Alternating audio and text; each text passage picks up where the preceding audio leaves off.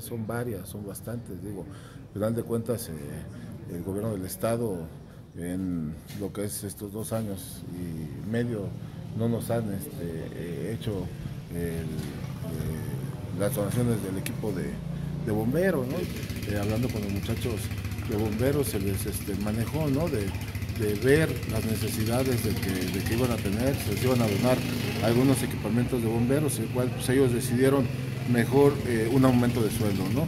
Eh, los muchachos con ese aumento de sueldo hicieron el sacrificio de comprarse sus trajes de bombero este, industriales, que bueno, al final de cuentas pues es un apoyo que se les dio precisamente para que ellos se equiparan, este, pues no bien, pero ya con un, un 70% de, de, de, su equipo. ¿no? Pues hemos tenido un poquito de trabajo, ¿no? Hoy en la mañana se les hizo un desayuno muy, muy ligero, eh, fue un tamal una tole, eh, el día viernes a las dos y media de la tarde se les va a hacer una comida aquella para que los bomberos festejen junto con sus familias el Día del Bombero.